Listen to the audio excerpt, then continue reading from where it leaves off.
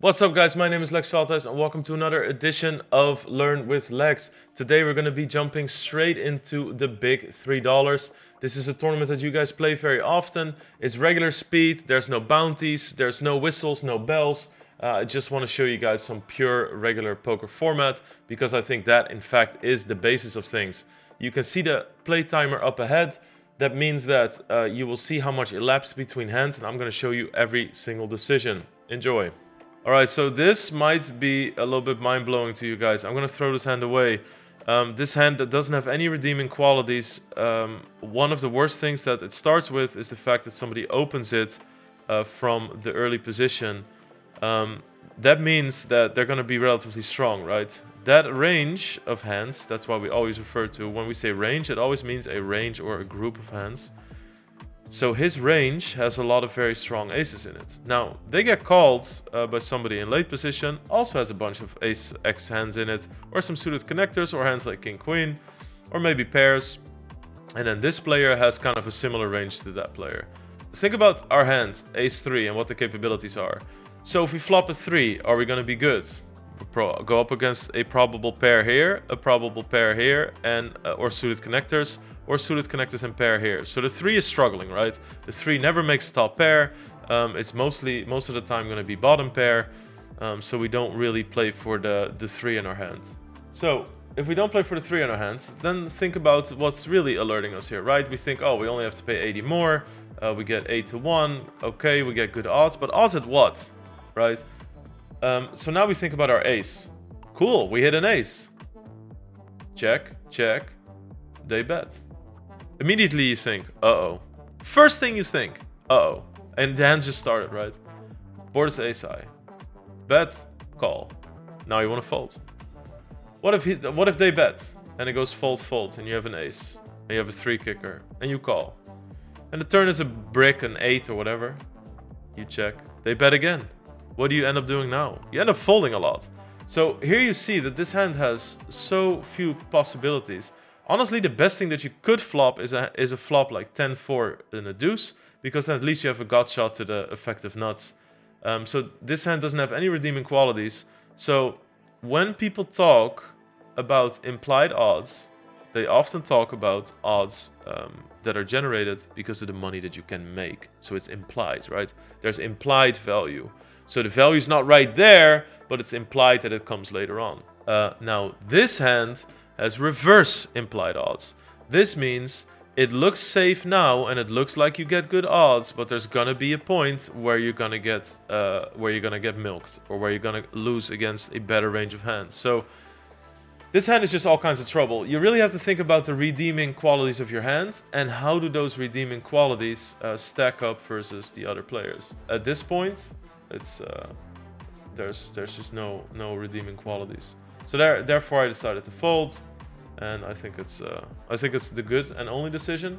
Um, you want to be very very careful with offsuited aces, uh, multi-way like this, because like I said, you hit your even when you have ace ace seven here, right? You hit a seven, you're not that happy. You hit your ace, you're not that happy. So what are we playing for? Are we trying to flop trips? All of a sudden, when you try to flop trips, that that that pot odds that you thought you were calling for just doesn't look that good anymore. I would have definitely raised this hand if there wasn't a limper. Usually what you want to do when you play versus limps is you want to cut the bottom part of what you would raise. Let's say the just as a the weakest king that you would raise here would be king 8 offsuit. So if there's a limper, you would cut like king 8 offsuit, king 9 offsuit, and then you could still raise king 10 offsuit. That's a really good way to go about it versus limpers. You don't want to keep playing your worst hands because your worst hands are in there also to steal the blinds. They're not in there to play a multi-way pot. And I would definitely start by cutting out the offsuited part first because offsuit plays harder after the flop. Because obviously when you have a suited hand, you flop a flush draw, you have more possibilities. When you have an offsuited hand, you will not uh, have the possibility of uh, flopping flush draws. Makes a big difference. Alright, so we have a nice hand here that we're going to play regardless. Usually with hands like ace-jack or ace-10 or king-queen, the more people that have position on you, so the more people that are behind you, the more you'd like to re-raise. You don't want to end up playing versus two, three people out of position. However, here I'm in the cutoff. I do think my hand plays really well. Very easy hand to play. And uh, people oftentimes ask me the difference between high stakes tournaments and lower stakes tournaments, if you can play the same. In a high stakes tournament, uh, I could definitely, for instance, make an all in here sometimes if I was playing against a very aggressive player that would, for instance, have like ace 5 or ace jack offsuit here, which they would fold, ace jack offsuit or king queen. Um, but on these stakes, I'm just going to throw it away. I'm to give strength a lot more respect on these stakes because people just bluff less. People do more crazy shit and people do more silly shit, but people do bluff less in terms of smart aggression. And I think that's something that's incredibly important uh, to remember. Uh, so therefore, I'm to give this some respect, and I think that works out well. So it's it is really funny because that is one of the most asked questions on my stream is the strategy that I see you play would it work on my stakes as well and you know not the exact strategy uh, you know uh, uh, click for click but you need to know what good strategy is before you can deviate from it, because otherwise you're just doing random shit. Alright, so we flop a really strong hand. I need to get our stacks in the middle. I'm gonna bet pot, and that'll leave me pot on the river as well. As you can see, I bet 10 in 10, and now I have 30 in 30. It's really a bit complicated to uh, to do that automatically, organically, but it's uh, it's good to get used to that. Obviously, we're gonna get value. Uh, he's gonna have a bunch of ace jack, 10 jack, Probably not a good idea to call with 10 jack. I'm gonna have some backdoor club draws. Uh, I'm gonna have some uh, queen jack, king jack that might want to bet again. So, um, I mean, it does block two pair ace 10, but think about all the other hands that you can call here with, right? That have better redeeming qualities. Um, if if you have ace deuce uh, or ace four or ace five, you block so many strong hands that make two pair like this one. Uh, this hand just doesn't do that much. So you want to be very careful about what you want to think where your calls are coming from, right? If you have a lot of hands to call with in a certain scenario, which is definitely this one, then you don't want to just add them all in there. Because if you call with this hand, it just means that you're always calling. And you want to be extremely, extremely careful of that. Nice hand there. And uh, just to illustrate, just to talk a little bit about that ace 10 points. So you need to know what good strategy is before you can deviate from it. And people oftentimes say, oh, fuck GTO, I don't want to learn anything or solvers or any of that stuff is so useless to me because I play $1 tournaments. But I agree, executing the strategy of what people use with solvers or math programs and stuff, if you if you execute that exact strategy, you're not going to make the most money on lower stakes. However, you need to know what really good strategy is before you can adjust it to your stakes. Look, just like I just did there. I know what good strategy is. What is my adjustment? My adjustment there is good strategy could be that ace-10 is an all-in because my opponents bluff. What changes when I play lower stakes? My opponents will be less aggressive in a smart way before the flop. So what do I do? I fight back less versus aggression. It's like it's a very simple step program and I, I know that because I know uh, strategy that's leveled above these stakes, right? So that's why you can always learn a lot from watching my stream or other streamers because you learn good strategy and it's up to you to see and apply it to lower stakes. But not anymore because now you have me to do it with you and for you through this video series. Guys, if you're looking for a place to talk poker, I have just the place for you. I have my own poker Discord we can talk about anything, strategy, the poker news, you can share your brags, your beats, you can ask me for advice, or you can just chat to random people about poker. You will also be notified when I go live and when there's a new video out. So check the link in the description, join the Discord, and see you there. Alright, we have pocket 10s here. Um, this hand is too strong to just play, and we're gonna re-raise it from the big blinds. Always have to make it more from the big blinds. You really want to aim for like 5, uh, when you're deeper, you can even make it more here. When there's another caller here, you can definitely make it like 13. Uh, once we make this move, we will be playing for stacks. Against the 40 big blind stack, it'll be easy. 40 big blind stacks are pretty much never supposed to flat call here with high pocket pairs. So versus them, we're extremely safe. Now, of course, we have this dead money in there. Um, we're just gonna have to go for this hand. Uh, and this this looks crazy, but we have 10 big blinds invested. Uh, trust me, they do have uh, some bluffs here sometimes, especially when uh, players seem like regulars. And we're just going to get the hand in. And don't forget that against ace-king, we have 57%. So um, all the times they have ace-king is really good for us. Um, obviously, when um, uh, when they have aces and stuff, we're dead, but they're also going to have some bluffs. There's some dead money with blinds and antes in the spot, and sometimes you just have to take these flips this really is just the way uh, the way things work, unfortunately. but tens play a whole lot better than uh, than you might think. All right, we're gonna fold there. Now we just have to readjust. We have a short stack, and that's fine. All right, so we're a bit shorter now. Uh, there's lots of suited hands I'm gonna limp with. I'm gonna shove this one. One of the main reasons being is that it's really great to fold out a hand like King 6 offsuit, King 7 offsuit.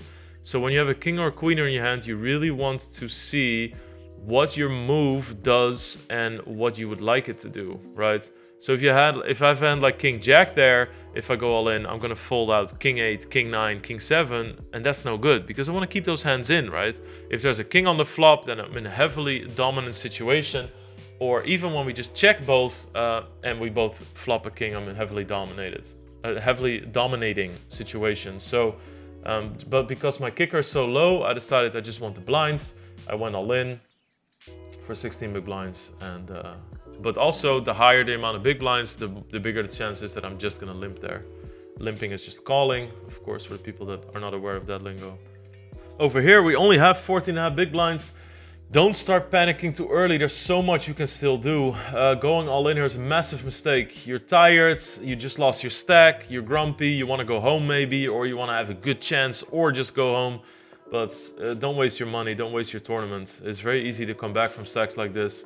Um, sometimes if you're down in nine big blinds, two doubles later you're at 40, you feel king of the world. So um, stay patient. Um, pre-flop shoving ranges, so that means that what group of hands you should shove from what position are actually pretty easy to Google. So uh, you can learn a little bit. You can uh, note. Obviously, it's not allowed to just look and play, but you can note down your mistakes. Like save this hand, save a screenshot. You know, just Gyazo it and look it up later. See if you made a mistake. Um, but don't get, especially with offsuited aces from these positions, they're absolute dog shit. So be very careful of that. Um, you know, even uh, over here, if you have nine big blinds, ace nine big blinds, only ace seven offsuit would just be a fold. So um, just because all the hands that are going to call you are going to do so well against you, most hands will have 44%, and then when you're dominated, you're in the dust. So be careful with that. All right, so our patience is rewarded. We have a great situation here. Three big blinds, open. We're gonna get it in with ace jack. Doing perfect. We need to fade a king or queen. And boom, just like that. 29 big blinds. You know, when you had, uh, when you're thinking about your ace four offsuit uh, from mid position, nothing to fret. There's there's always going to be a situation, and um, even if there's not, it's more important to be patient and just wait than make mistakes. Uh, so many times people tell me, "Oh, I, I raised the eight six suited from early position. I was like, but it's not a raise. And they're like, yeah, but I was card dead for two hours. Okay, so you were card dead and now you start making mistakes. You know, it's just uh, doesn't make any sense. So stay patient and situations like this will come along more often than not. All right, ace queen. I don't really want to re-raise here. If I re-raise, I turn it into a bluff. When somebody raises from early position and you re-raise or three bets, as they say, with ace queen, and you go and they go all in on you, you're just not looking that great. Uh, it's going to be a lot of pairs. It's going to be a lot of ace king, Gonna be a lot of uh, uh, aces, kings, obviously, and just never hands that we do really well against. Like people will oftentimes not go for ace jack and just call it or fold it. So um, once they get out, this is a really good position for us. There's going to be a lot of king queen suited here, but also pocket eights. Obviously, also their strongest hands, but because it's only 21 big blinds, there's also going to be ace jack, ace 10 suited, all these hands that we completely dominate. So we're just going to make an easy call. As said, they have ace jack, boom. Bada bing, bada boom. And that's also uh, a really nice advantage uh, of flatting is that these 18 and 20 big blind stacks behind are just more prone to, uh, to give you some action with hands that you dominate. All right, again, we open the button, uh, we get all in on. This is a very, very easy call from our perspective. And like I said earlier, these situations are gonna present themselves. Again, we're in a dominating position. These positions will come and that is a easy dub for us. So before we're on 14 big blinds, thinking um, that we could go all in with ace 4 probably, you guys would. And now we have 55 big blinds, even though the blinds went up. And this is barely 20 minutes later. So this is how fast tournaments can go. And it just shows you that patience is so incredibly important. And now after those all-ins, we're obviously cruising. We waited for some good spots where we had a range advantage. Pocket 5 seems very strong. It would be disaster though if we raise from here and we get uh, re-raised by the limper, so I'm not gonna do it. I really want to see a flop. This hand plays perfect, even if they come along. If I hit a 5, I'm going to be good. You know, that's how easy you can think about sets. Even if it's like 5, 6, 7, sure, somebody will have 8, 9 sometimes for a straight, but you can't really think that way because it happens so few and far between. So you really have to keep in your in your head. Of course, there's like important, uh, you know, if it's 5, 6, 7, 8 and, and there's a, a straight possibility with just a 9, then you want to be careful. But generally speaking, when you hit 3 of a kind, you can treat it as the nuts. We're going to continue betting. It's very unlikely somebody has a spade draw. The pot was so small on the flop, it would have been so easy to take a stab with it. I'm going to do something called block betting. I'm going to bet super small, showing that I have an interest in the pot, but I definitely don't want to check and them to bet 1200. I can, If I bet small enough, the advantage is that I can still get called by a hand like king 10 or king 9 or king 8 or whatever uh, that doesn't have a spade, um, but um, or 8-7 or ace-8, whatever you want to call it my small bet will still get called by those, but I do show I have an interest. And sometimes people even call with just a six or something, right? And if I if I check, they might bet bigger with that. So I lose a lot less there and I still sort of block the action. Now it's very important once you start playing some higher stakes to also do this with good hands because otherwise people will just note you down that you always block bet with hands that don't really want to see action. So what I could do on my own stakes, for instance, I could also do this sometimes uh, uh, with a hand like the Jack of Spades or something. I could do the Jack of Spades and then I could also call when they raise, for instance, you know, so important to think about. This is actually where I'm going to cut the video. We have enough material for one video now. Don't worry, I'm going to continue recording so we can get to some of the later stages in these tournaments as well. I hope you really enjoyed it. Please like, subscribe, comment in the section down below. And also what's really important, guys, there's a Discord link in the description. If you don't have anybody to talk poker with, if you have any more questions about this, or you want to ask me personally about some hands, join my Discord. There's all kind of people from our community. Everybody's very welcoming. You can ask any questions you want. All right, see you guys there. Thank you so much.